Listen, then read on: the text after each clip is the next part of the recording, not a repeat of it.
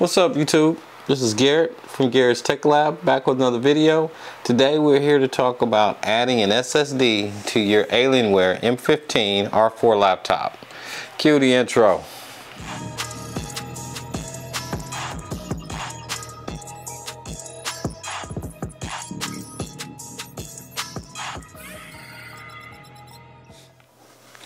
Alright, we're back. And today what I want to do, I've got a Sabrent 2 terabyte SSD that I want to add to this and I want to add it like soon because I've been loading games and all that stuff and uh, I only bought this with a 1 terabyte SSD and I think I've only got about 300 gig left. So I want to uninstall all those games, reinstall them on this 2 terabyte drive. We're going to do that now. So because this is brand new for me, um, I've got this towel that I want to put out and put on this laptop.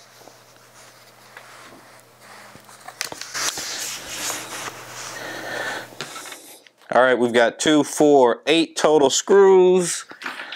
Here's my rusty, trusty screwdriver. Let's start removing them.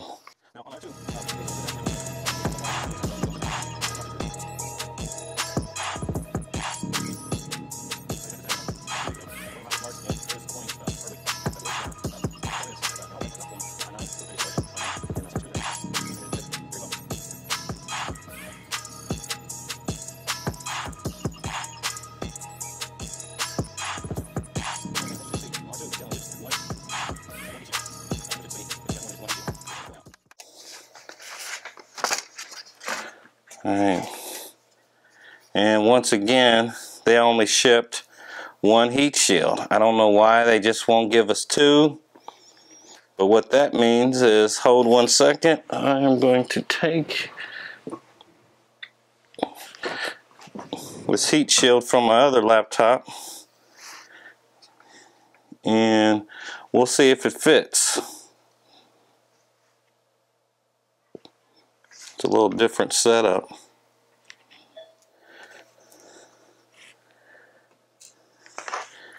All right. And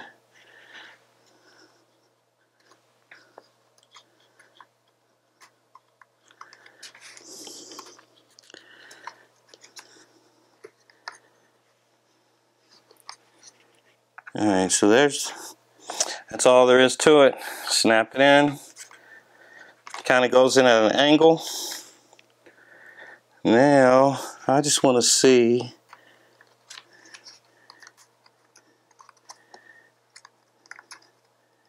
if this guy will fit. Yeah, and it does. Alright. So we're going to leave that in. Again, that's the heat shield from my R2. We're going to tighten the screw back down.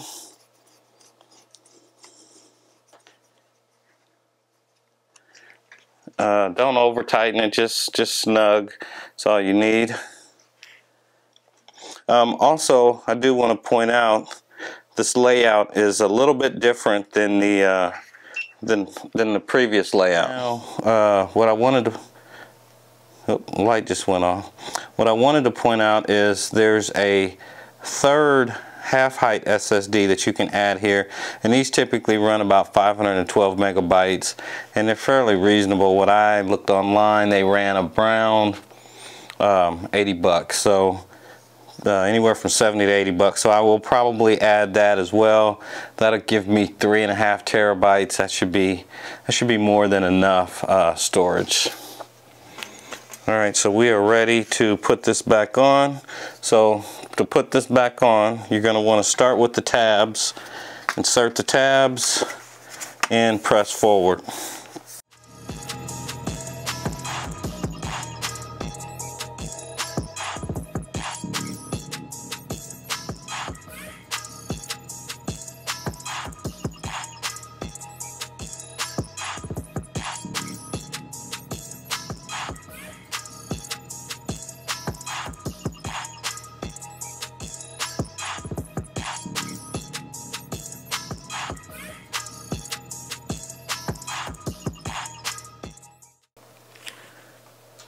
And this is the last one here.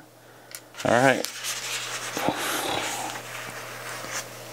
All right, so now what I want to do is kind of go through this uh, boot up with you. Let's go ahead and click start.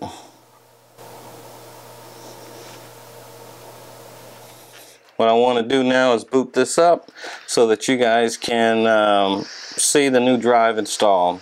Now again, this is an existing drive, so it's already formatted and ready to go. We're going to skip this check because I'm just too uh, impatient. Uh, it's already recognized me and we're logging in. Alright, I wish uh, that this would actually show you just how beautiful um, this screen looks. Um, if you haven't seen this 4K screen, it is absolutely stunning. And we're going to go to uh, this PC. And I had a uh, I had a drive in here, so my new drive came up as a drive E, so that's a good time to go here to disk, create format partition disks. And what we want to do is um, I'm just going to go ahead and reformat the whole drive.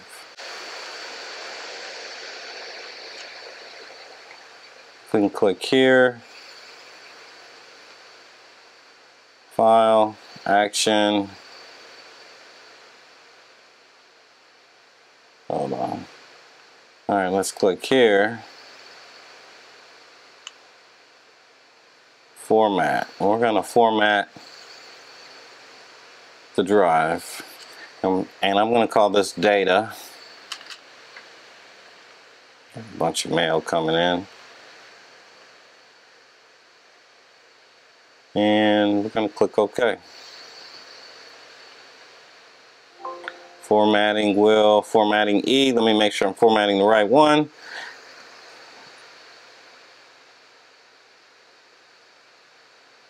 alright it's formatted now the next thing I want to do is double click and I want to change the drive letter because I want this to be the D drive. So we are going to assign that drive uh, a D drive.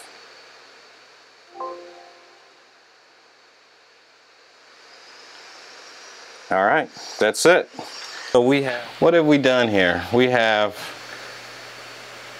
shut down the machine took the back off installed a new drive installed a heat sink heat shield from the R2 laptop on that drive and then we put the back back on rebooted the machine formatted the drive and changed the drive letter from E to D because I had a uh, SD card in there in the uh, micro SD slot and we also renamed the drive. So this concludes this quick tutorial on how to add a drive to your Alienware R4 laptop.